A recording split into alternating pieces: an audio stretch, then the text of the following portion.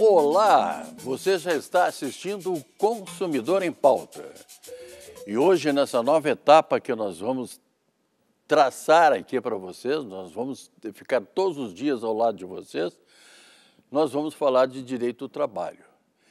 E eu já já vou dizer para vocês quem é que vai estar conosco aqui no, no Consumidor em Pauta.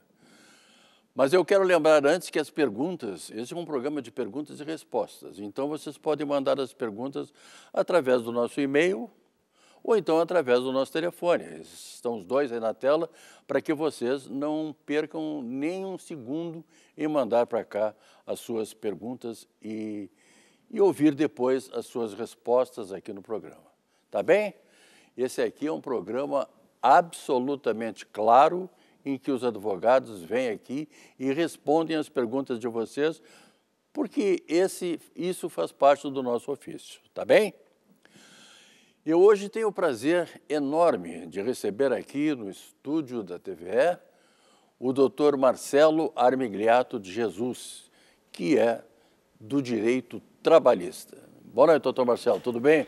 Tudo bem, Machado? Tudo certo? Olha, um prazer enorme estar de volta à TVE, poder rever os amigos da equipe técnica, da nossa produção. Queria agradecer imensamente a direção da TVE, a Secretaria da Educação, eh, desculpa, da Comunicação, que proporcionaram esse retorno do nosso programa. Então, é, graças a todo esse pessoal aí é que nós estamos aqui de volta, né? Nós estamos vamos, e vamos ficar, espero que por muito tempo. Doutor Marcelo, eu já tenho aqui, eu vou colocar até os óculos para começar a fazer as perguntas para o senhor. E eu já tenho várias e várias perguntas aqui que eu vou, nesse momento, passar a, até o doutor Marcelo. A primeira pergunta é do Rodrigues. Ele gostaria de ser orientado se na função de vigilância e portaria 12 por 36, se os 100% em feriados e domingo foi tirado. Vamos lá. Rodrigues, é, nós tivemos em 2012 nosso Tribunal Superior do Trabalho se manifestando a respeito desse tema através de uma súmula, súmula 444 do TST. Ela dizia mais ou menos assim: é válida em caráter excepcional a escala 12 por 36 e aqueles dias de trabalho que caírem, que caírem em domingo não serão pagos, mas aqueles dias de trabalho que caírem em feriado deveriam ser pagos em dobro. Essa era a súmula do Tribunal Superior do Trabalho lá de 2012. O que, que aconteceu? Em 2017, cinco anos mais tarde, nós tivemos então a reforma trabalhista, a Lei 13467. E essa reforma trabalhista, ela ela não retirou o direito, mas embutiu o direito dentro do salário. Eu explico. Ela está dizendo que a partir dela, então, da reforma, é, o salário de quem trabalha na escala 12 por 36 já contempla o pagamento do trabalho quando este cair num dia de feriado. O valor do salário recebe lá R$ 1.500 dentro desses R$ 1.500 já estaria o pagamento pelos dias de trabalho em feriados. Então, a partir dessa lei, a reforma trabalhista, é, há esse entendimento efetivamente, não vem mais separado no contra-cheque, não há mais o salário embaixo o pagamento de feriados, né, não há mais isso, porque a lei está dizendo que o trabalho em feriados já está embutido dentro do salário base. É, quando o doutor Marcelo está aqui, e assim como ele, todos os, os, que participam do direito do trabalho, são essas respostas claras, objetivas, que, que os senhores podem fazer, as senhoras podem fazer. Né? Então, o doutor Marcelo está sempre aqui para responder da maneira como ele respondeu essa primeira pergunta. A segunda pergunta é da dona Irene. Ela diz o seguinte: paguei o fundo em 1990, de, de 1995 e a 1996. Depois trabalhei como faxineira. Fiz aniversário em 15 de junho. Olha, a dona Irene é dois dias mais velha do que eu. e que eu fazia 17 de junho, né? Então tá bom. Como faço para tirar meu fundo de garantia? Nunca mexi nele, não sei fazer essas coisas de aplicativo. Tenho 60 anos, sempre que posso, olho o seu programa. Aprendo muita coisa. Que bom, dona Irene, que a senhora olha o nosso programa e aprende muita coisa. Doutor Marcelo. Deixar um abraço para a dona Irene e continue é nos prestigiando, né, dona Irene? Bom, é, se a dona Irene ela não tem, não está habituada a mexer no aplicativo, e se não tem ninguém que, que possa lhe ajudar, alguma pessoa de confiança, um filho, é, o caminho é efetivamente ir até uma agência da Caixa Econômica Federal. Por quê? Porque lá o gerente ele vai lhe explicar quais são as possibilidades de saque do fundo de garantia, que estão previstas lá na Lei 8.036 de 90.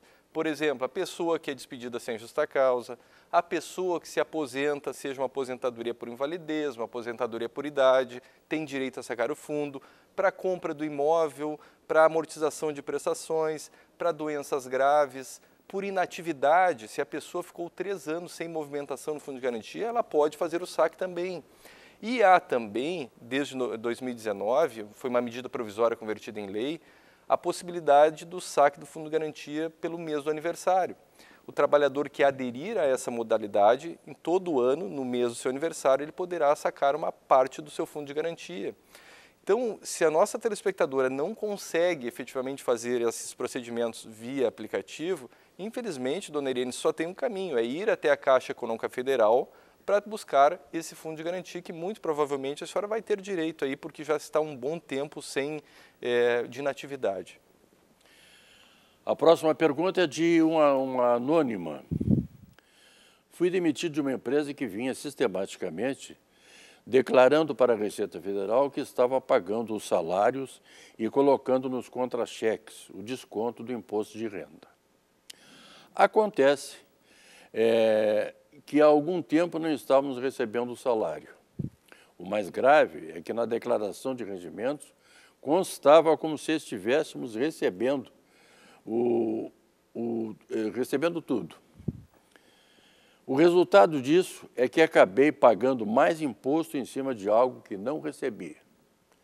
Tem como reaver, é, resolver essa situação na Justiça do Trabalho? É a pergunta de uma telespectadora anônima, doutor Marcelo. Na verdade, Machado, ela tem duas opções, tem dois caminhos a seguir. O primeiro caminho seria um caminho até administrativo, junto à Receita Federal, explicando na Receita Federal o que aconteceu, que ela não recebeu os salários e houve o desconto, houve um pagamento a maior. E há uma chance considerável dela conseguir a restituição desses valores junto administrativamente, junto à própria Receita Federal. Se não for possível, ela pode demandar, se a Receita Federal disser que não, ela pode ajuizar uma ação contra a União para buscar o ressarcimento desses valores também. Esse seria o primeiro caminho. O segundo caminho, se ela pagou algo indevido por culpa do seu empregador, ela poderá então ajuizar uma ação na Justiça do Trabalho buscando o ressarcimento desses pagamentos indevidos. Aí sim, acontece, Machado, que me parece que o primeiro caminho junto à Receita é melhor, porque se a empresa já está atrasando salários, não está pagando salários, muito provavelmente não adiantará ganhar uma ação de indenização, de ressarcimento contra essa empresa, para daqui a dois, três anos, de repente a empresa não, tenha mais, não vai ter mais patrimônio para poder pagar a nossa telespectadora. Então eu, na condição dela, tentaria buscar esses valores indevidos, pagos de maneira indevida, junto à própria Receita Federal. Lembrando que esse programa pode ser assistido ao vivo também na TVE, é, no site da TVE tá bem? Não esqueça que pode, pode entrar ali e assistir o programa ao vivo. Tem aqui a pergunta do senhor João Fernando. Ele diz o seguinte: por meio de voto, fui eleito representante dos empregados junto ao sindicato. Deverei ficar fora da empresa, estando eh, diariamente no sindicato. Como fica o meu contrato de trabalho nesse caso? Terei, eh, terei de abrir mão do meu salário? Também estou com medo que eu deixe de receber as promoções e outros benefícios por não estar na empresa. E daí, qual é a situação do senhor João Fernando, doutor Marcelo? Bom, o artigo 543 da CLT disciplina isso. Ele diz o seguinte: olha, é, a empresa é obrigada a aceitar o afastamento do, do empregado. Tá? Porém, esse artigo 543 ele diz que ela é obrigada a aceitar o afastamento, mas não é obrigada a pagar o salário daquele trabalhador que estiver afastado exercendo suas funções integrais no sindicato. Tá? É, essa é a regra que está na lei. Seria uma licença não remunerada. O contrato de trabalho ficaria suspenso. Tá? Agora, muitas normas coletivas, muitas convenções coletivas de trabalho prevêem a obrigação da empresa continuar pagando esse salário. A lei diz que não há uma obrigatoriedade, mas algumas normas coletivas, não sei se é o caso da norma coletiva aplicável a ele, pode uh, estabelecer justamente o contrário. Uh, o fato é que, se ele se afastar e só estiver o amparo da lei, se nada estiver previsto na norma coletiva, ele vai ficar sem recebimento de salário, e aí quem vai pagar o, entre aspas, salário dele vai ser o sindicato, é, mas ele terá garantido no seu retorno todos os aumentos salariais do período, se o vale alimentação aumentou, ele terá garantia de receber o vale alimentação majorado. Se foi estabelecido um plano de saúde no período, ele terá garantia de recebimento do plano de saúde no seu retorno, mas as promoções ele não terá direito porque muitas vezes as promoções elas dependem da, da, da, da, da antiguidade da pessoa no cargo. E esse tempo aí, o contrato de trabalho dele está suspenso. Então, as promoções ele não teria essa garantia. Nós vamos fazer o seguinte, nós vamos fazer um rápido intervalo, mas é bem rápido mesmo. É só o tempo da senhora, do senhor tomarem um golinho d'água, como está fazendo o doutor Marcelo aqui. A gente já volta.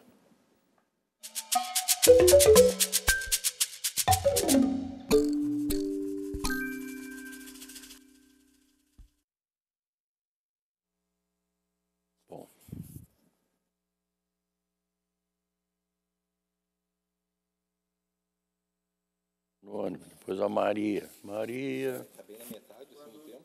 Hã? Quando estiver pronto, voltamos. Não, estou tá pronto.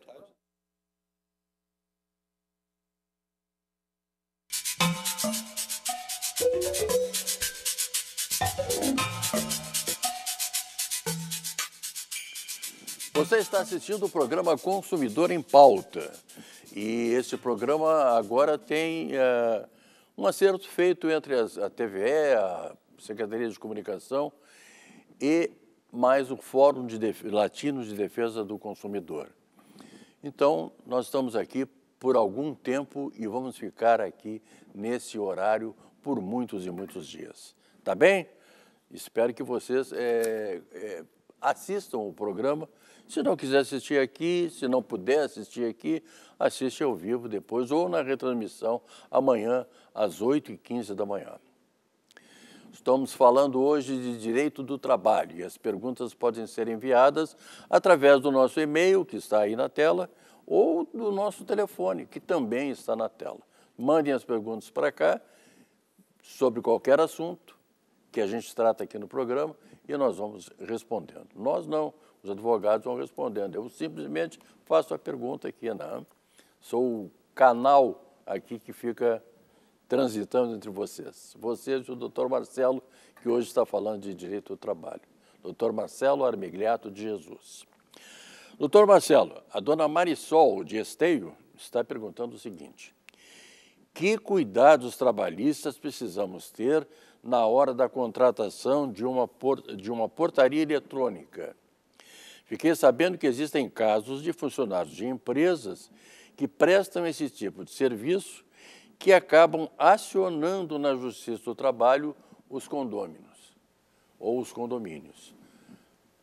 E daí, doutor Marcelo, é verdade isso? Sim, é verdade, Machado. É, na realidade, se criou um mito de que o condomínio que contrate uma empresa de portaria virtual ou uma empresa de portaria remota, que ele não vai ter problemas trabalhistas. Isso é um mito.